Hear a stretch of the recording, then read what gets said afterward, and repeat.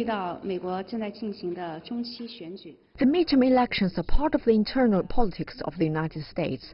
We do not comment on results, as any comments would be seen as possible or deliberate political meddling. But considering the importance of China-US ties, I think it's necessary to point out the consensus on maintaining a healthy and stable bilateral relationship, its importance and necessity.